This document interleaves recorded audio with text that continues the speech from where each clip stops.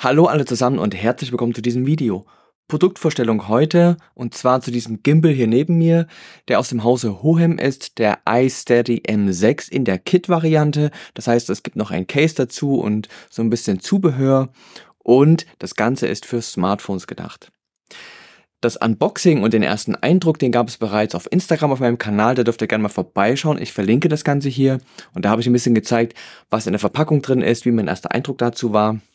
Und jetzt kommt mein Review dazu aus der Benutzung beziehungsweise wie ich das Ganze finde. Der Disclaimer auch gleich ganz vorab. Es gibt keine Absprache zum Produkt. Das heißt, Hohem hat mir für diesen Test dieses Gerät zur Verfügung gestellt und ich darf aber sagen, was ich möchte. Es gibt keine Absprache im Sinne von, das muss hervorgehoben werden oder das muss unter den Tisch fallen. Und es gibt einige Sachen, die finde ich gut und einige Sachen, da müssen wir nochmal drüber sprechen.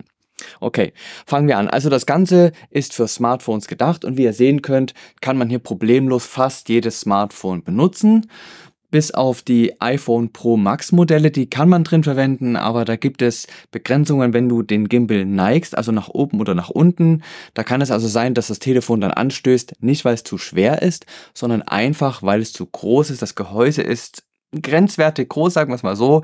Es funktioniert, aber du musst mit Einschränkungen leben. Alle Telefone, die kleiner sind im Gehäuse, die gehen natürlich perfekt, die funktionieren daran. Da kannst du den Gimbal auch wirklich ohne Probleme 360 Grad komplett verwenden dass ich das mit gesagt habe.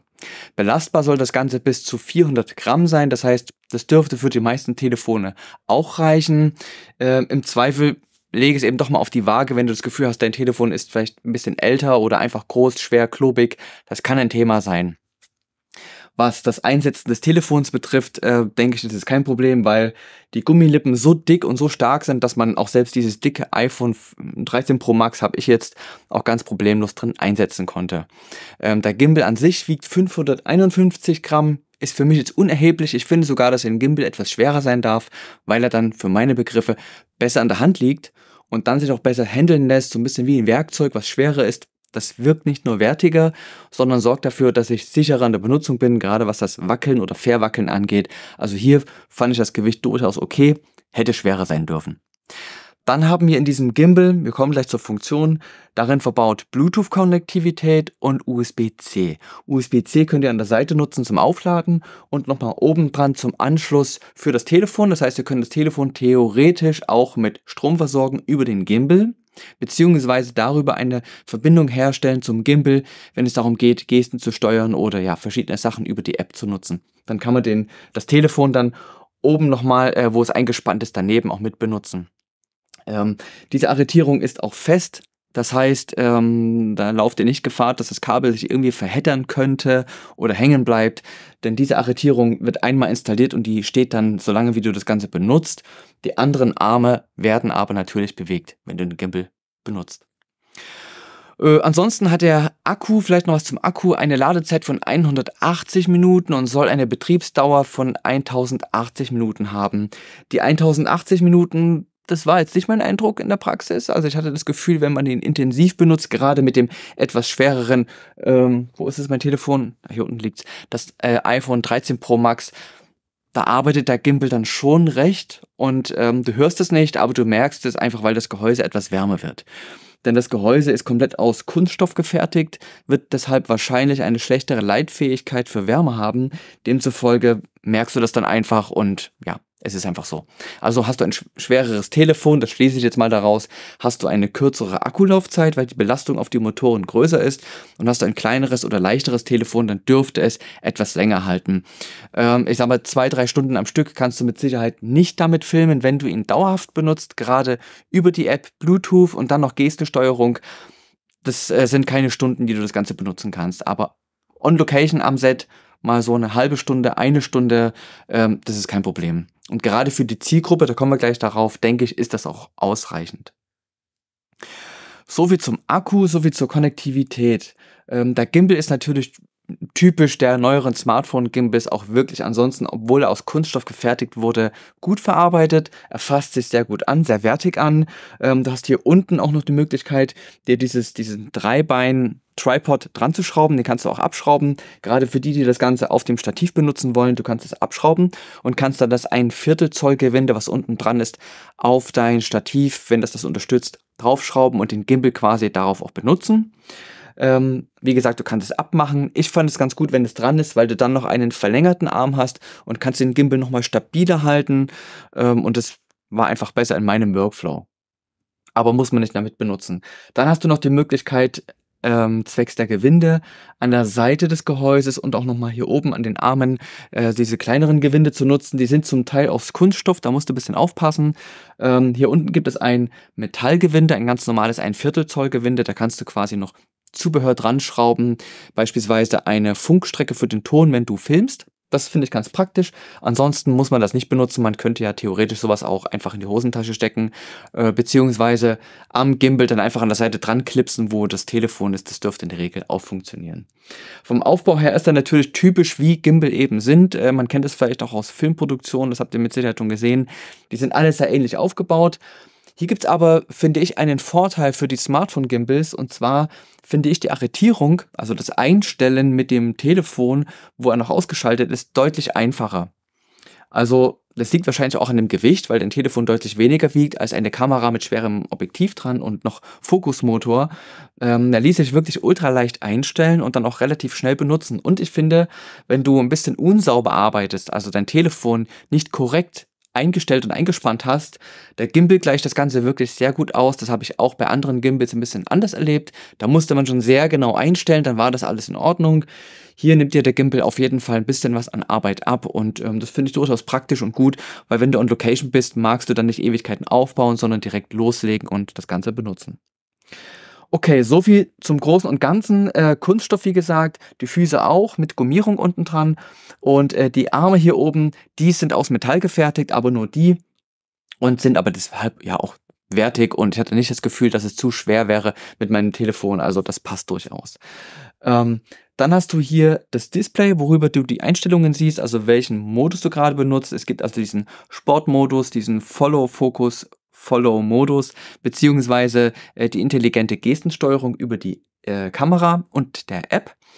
Und du kannst natürlich das Ganze auch frei benutzen, also selbst festlegen, ich möchte äh, diesem Objekt jetzt folgen. Das kannst du einstellen über die App, über den Bildschirm. Du kannst aber auch selbst über den Joystick und das Rad an der Seite auch selbst den Gimbal komplett bewegen. Also das sind dir quasi keine Grenzen gesetzt. Der Joystick ist typischerweise in alle Richtungen bewegbar. Das heißt, du kannst in alle Richtungen auch dein Telefon drehen. Du kannst es kippen, du kannst es neigen, du kannst es um die Achse herumdrehen und äh, du kannst, wenn du wieder zur Ausgangsposition zurückkommen möchtest, kannst du hier hinten diesen Taster äh, zweimal drücken und dann kommt automatisch der Gimbal mit dem Telefon wieder in die Ursprungs Ursprungsfunktion, Ursprungsausgangssituation äh, wieder zurück. Drückst du dreimal drauf, kannst du von der frontgesetzten Seite auf die rückgesetzte Seite wechseln. Das heißt, dein Telefon schaut dich quasi nicht an, du filmst alles, was vor dir ist und du möchtest gerade mal zu dir schwenken oder einfach komplett herumdrehen. Dann drückst du dreimal auf diesen Joystick hier vorne dran, diesen, diesen Pistolengriff, der da dran ist. Dann dreht sich das Telefon mit dem Gimbal einmal zu dir und dreimal draufdrücken sorgt dafür, dass das Ganze wieder zurückgeht. Finde ich auch praktisch, weil gerade wenn man on Location ist oder am Set irgendwo ist und im Urlaub ist, dann äh, ist das schon eine Geste, die ziemlich cool ist. Und wenn man alle Gesten kennt, ähm, ja, dann ist das schon ziemlich nett.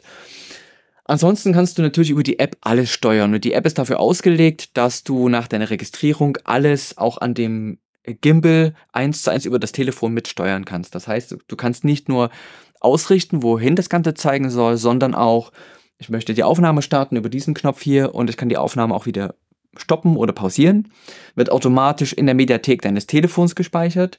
Dann kannst du hier noch äh, die Zoom-Taste benutzen. Das funktionierte interessanterweise auch bei der Rückkamera, äh, bei der Frontkamera, sorry, bei der Frontkamera meines iPhones. Das hat natürlich nun keinen optischen Zoom und trotzdem konnte ich bei dieser Frontkamera in mein Gesicht quasi reinzoomen, wenn ich das möchte oder ich stehe irgendwo und genauso funktioniert das bei der Rückkamera. Ziemlich cool. Also optischer Zoom ist natürlich immer besser als digitaler Zoom, aber du kannst im Zweifel damit zoomen, indem du nach oben und nach unten drückst.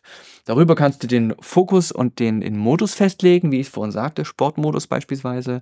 Ähm, hier ist der Joystick und an der Seite gibt es dieses, dieses Wahlrad und darüber lässt sich das Licht der Kamera steuern und auch nochmal eine extra Bewegung des Gimbals. Wir fangen mit der extra Bewegung an. Diese Bewegung bedeutet, du kannst den Gimbal nochmal neigen und zwar nach links und rechts, also quasi kippen, ja, seitlich links und rechts kippen. Das ist ziemlich cool, wenn du schief stehst, schräg stehst oder irgendwie das Gefühl hast, du magst das nochmal austarieren oder eben bewusst schräg sozusagen aufnehmen. Dann kannst du hier bei nach zweimal drücken das Ganze dann drehen und äh, dann neigt sich das Telefon quasi so. Also nochmal eine zusätzliche Achsbewegung.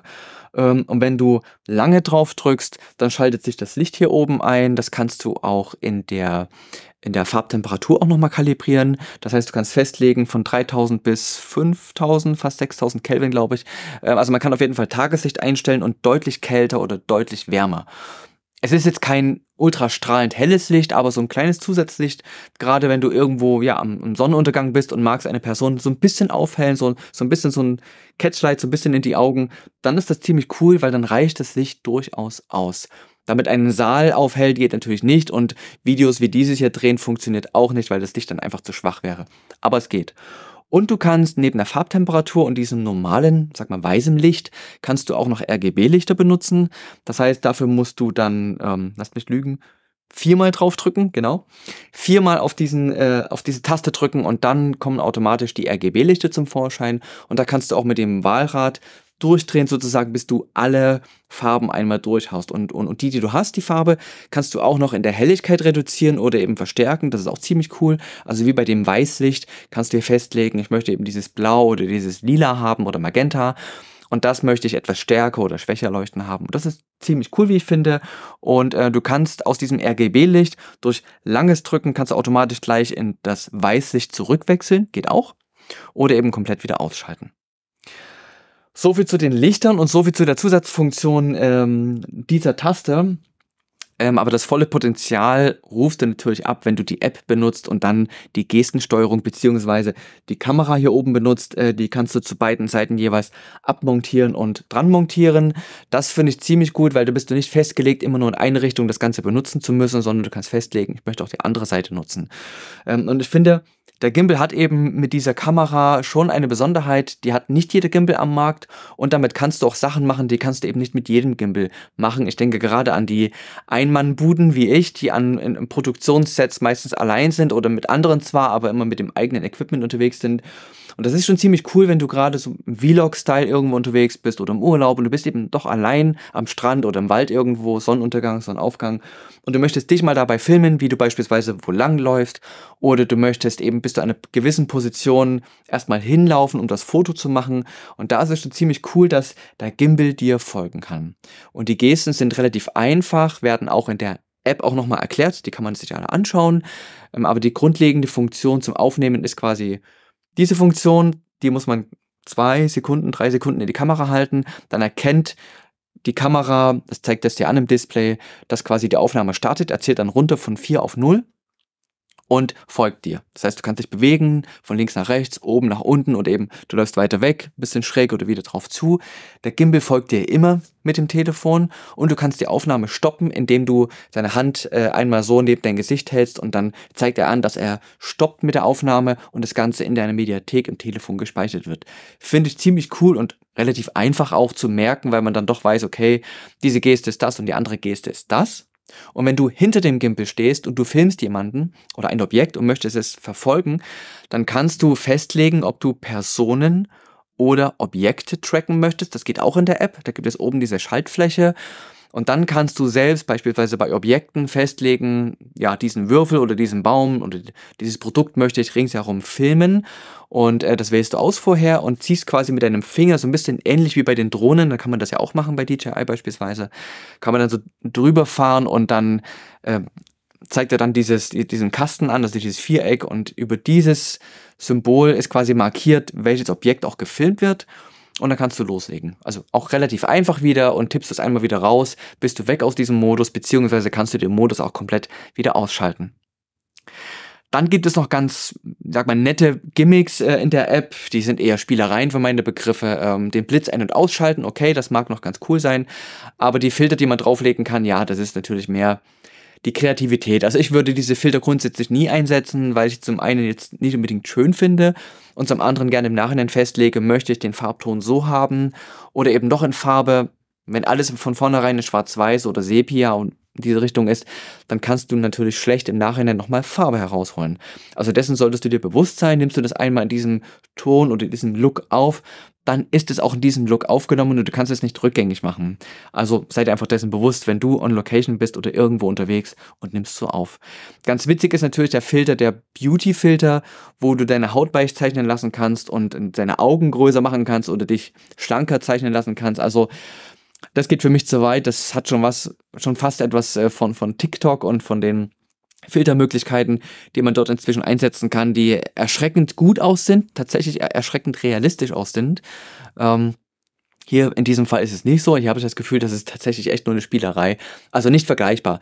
Demzufolge klammere ich das für mich aus. Ich wollte es mit der Vollständigkeit halber erwähnt haben. Es geht, du kannst sowas benutzen und wenn man daran Spaß hat und das ist ganz witzig, dann ist es natürlich cool. Ja. Okay. So viel zu der App, äh, dass du dich registrieren musst, das habe ich bereits gesagt. Also man muss sich per E-Mail registrieren, muss das Ganze aber nicht bestätigen. Das ging sofort, also E-Mail, Passwort und dann bist du auch schon eingeloggt.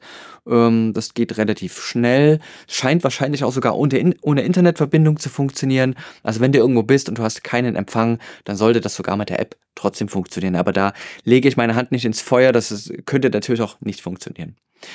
Ähm, ziemlich gut finde ich, wie gesagt, die App, weil sie eben alles abbildet, was du brauchst. Ähm, hier hätte ich mir gewünscht, dass man vielleicht so eine Art Cloud Storage noch anbietet, ähnlich wie GoPro. Das fände ich ganz nett, gerade wenn du auf Reisen bist oder machst deine Weltreise ähm, oder fährst weiter weg, nimmst diesen Gimbal einfach für die Telefone mit. Ähm, dann ist es schon ganz nett, wenn du eine Cloud hast, im Zweifel für den Diebstahlfall, dass du trotzdem noch diese Sachen abrufen kannst. Aber da muss man eben dann selbst mit dem Telefon äh, schauen, dass man das Ganze gut sichert, wenn man unterwegs ist und damit Content aufnimmt. Ähm, Kritik muss ich auch ein bisschen am Gehäuse üben. Und zwar, ich habe ja eingangs gesagt, das Ganze ist gut verarbeitet, das ist okay. Aber hier hätte ich mir wirklich gewünscht, dass man zumindest einige Tasten aus Metall gefertigt hätte. Einfach der Haptik wegen, dass sich das Ganze besser anfühlt und dass er auch wirklich verwindungssteifer ist. Ähm, es knarzt nichts, das ist okay. Aber so ein Gimbal, der mehr aus Metall gefertigt wurde, da fasst sich einfach besser an. Klar, Carbon ist nochmal teurer, aber leichter, hat auch seine Vorteile. Ähm, aber hier hätte ich mir wirklich gewünscht, wenn man sich hier ein bisschen mehr Mühe gegeben hätte, beziehungsweise auch die Füße aus Metall gefertigt hätte, einfach damit das Ganze etwas wertiger, noch hochwertiger herüberkommt. Ansonsten ist es natürlich kein Gimbal, der hochpreisig ist. Der ist völlig okay im Rahmen, finde ich, für das, was er bietet. Und ich denke, die Zielgruppe sind vor allen Dingen die, die etwas smoother mit dem Telefon Videos und Fotos aufnehmen wollen, vor allen Dingen Videos, gerade für Social Media, reicht diese Gimbal völlig aus. Da hast du alles dabei, was du brauchst.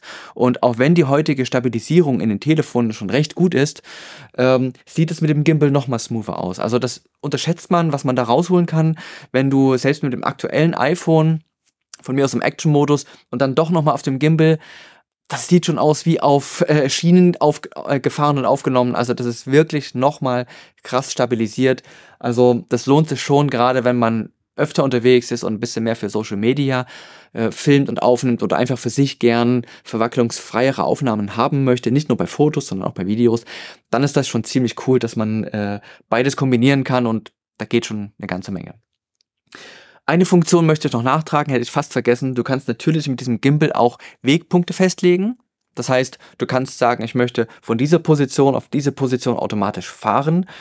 Das ist lohnenswert, wenn du irgendwo draußen in der Landschaft bist und du möchtest quasi dich verfolgen von diesem Punkt auf diesen Punkt und willst quasi die Kamera nicht benutzen, beziehungsweise wenn du Kamerafahrten äh, wiederholen möchtest.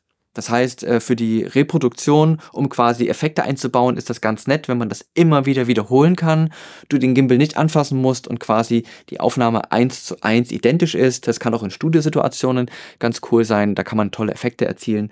Also das geht natürlich, dafür gibt es die Tasten hier an der Seite. Da stellt man Wegpunkt A und Wegpunkt B fest. Also einmal auf den Wegpunkt A fahren, die Taste A gedrückt halten dann kommt ein Ton und dann fährst du auf den Wegpunkt B, drückst auf die Taste B und dann ertönt wieder ein Signal und dann ist das Ganze gespeichert und du kannst quasi zwischen beiden hin und her wechseln und immer wieder hin und her fahren quasi, bis der Akku leer ist. Okay, soviel zu meinem Eindruck äh, zu dem Gimbal. Und ich denke auch zielgruppenbedingt ist es durchaus ein gutes Konzept, was Hohem hier fährt. Es gibt ja auch noch andere Produkte von Hohem, andere Gimbal auch.